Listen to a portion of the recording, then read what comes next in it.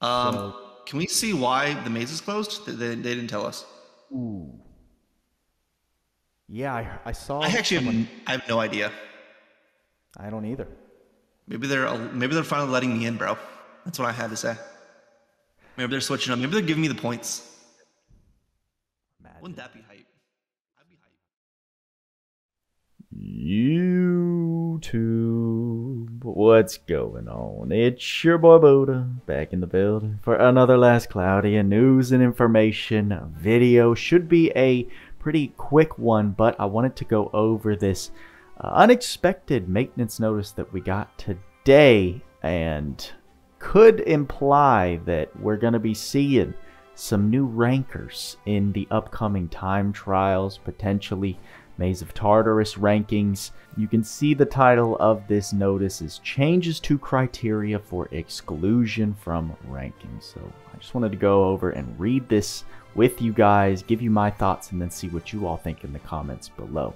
So thank you for playing Last Cloudia. From September 22nd, 2022, post maintenance, some changes will be made to the criteria for exclusion from rankings. To give you all some history in case you just started playing, there was a subset of players way before your boy Booda started playing, way before we had a Steam client that were essentially shadow banned. What is shadow banning? It meant that they could not rank in any future time trials or things that had a ranking system. Aside from Arena, for some reason, they were never excluded from Arena, as far as I know. However, the reason that they were banned was because they were using emulators back in the day. So things like BlueStacks, things like LD Player, you obviously weren't supposed to be able to play this game on PC. These people found a way to do it. Now, I don't know if macroing is what triggered the initial shadow ban, but to my knowledge, it was just accounts that were flagged as attached to an emulator. Regardless if you were setting hotkeys or macroing, your account would get shadow banned just because of that connection. However, moving forward as the game evolved and changed, they stopped enforcing this reason for people to get shadow banned. So for my, like for myself, before the Steam client exists, I did connect my account to an emulator and I was playing uh, legitimately but my account never got flagged and many other accounts never got flagged moving forward. Obviously now we have the steam client we have the auto run feature so things have changed in a way that wasn't punishing players for the reason this subset of players got shadow banned in the first place. And then to this day they have never been freed from this blanket of shadow banned which just created this friction in the community because all these players that were not getting uh, punished in the future were doing the same things that this old set of players were seemingly permanently punished for, at least until we got this maintenance notice. So let's look at the details of change. Until this point, players who have participated in certain types of cheating activity have been permanently banned from rankings.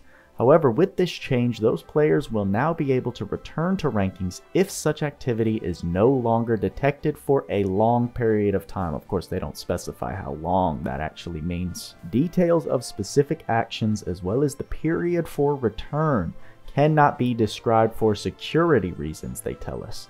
Note that individual queries regarding these topics cannot be answered. This change only includes some of the actions that may have caused a permanent ban it does not mean that all players who have been banned will be able to return to rankings. If any cheating activity is confirmed after returning to the rankings, you may be subject to strict punishment, such as being banned from the rankings again. So they're just, I mean, it's just kind of comical that there's no step up in the punishment, it's just you get the same treatment. This change is not a relaxation of our hard stance against cheating. Please check the details below. I like that this is just a different way to say this. This decision has been made as a result of investigating the actions of certain players for a long period after they were banned, and determining that during this time these players have not acted in ways which would negatively affect the fairness of rankings. Please note that this is not a softening in our response to cheating or unfair activities, but a careful decision made after reviewing the current state of the game. No changes will be made to our policy of severely punishing those who have been determined to be cheating or performing actions that compromise the fairness of gameplay. Similarly, any other forms of harassment towards other players, such as creating inappropriate player names, may result in severe penalties or even suspension of your account. If you observe any players who are cheating or behaving inappropriately, please feel free to contact support to report this behavior. Individual details regarding punishment and or results of an investigation will not be provided. User discretion is advised. And finally, response to cheating. The management team considers confirmation of cheating within the game to be a very serious issue. We sincerely apologize for the time it has taken us to respond and any inconvenience this has caused.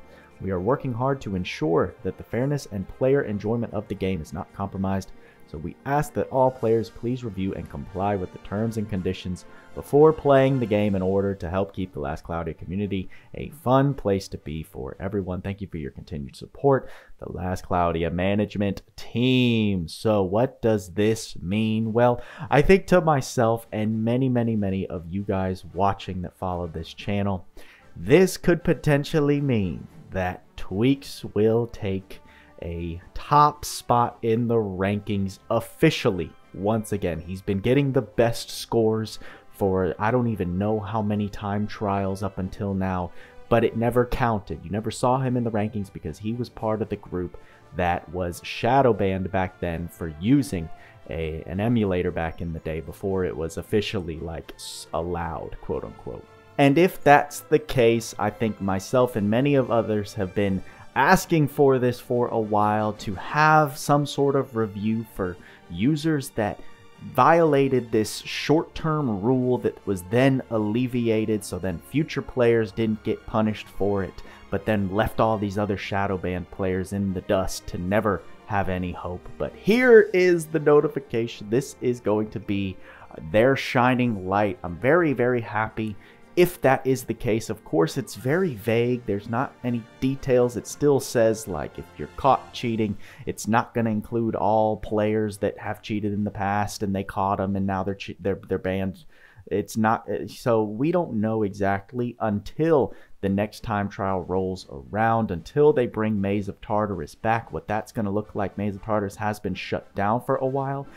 And I think Tweaks' guessed during the Power Creep podcast was pretty spot on. It was probably while they were working on whatever this change looks like. So we are getting maintenance in two days on the 15th. That's going to bring the part two stuff of the DMC collab with Young Nero, as well as this change to exclusion from rankings. So let's say fingers crossed for all of those that have been in the shadows in the dark for this long and I'm excited to see some of the real top dogs reclaim their place in the rankings once again. So I'm waiting, holding my breath, because we don't know exactly who's going to be impacted by this, who's going to be affected by this, but just wanted to give you guys my first initial thoughts after reading this. Please let me know what you think in the comments. Always interested to hear what the community's thinking. The biggest thank you to the Booda fam that is still growing. You guys are smashing that join button. $2 a month, keeping your boy Booda off the streets. Lady Booda